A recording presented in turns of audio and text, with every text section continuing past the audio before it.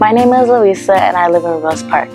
I want to tell you about a great woman in the history of Utah. Her name is Olene S. Walker. She was the first woman to be the Lieutenant Governor of Utah. Then she became the state's only female governor.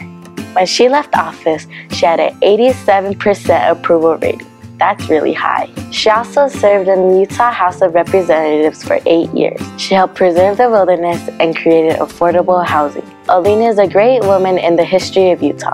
We should all learn about and celebrate the great woman of Utah. It's our heritage.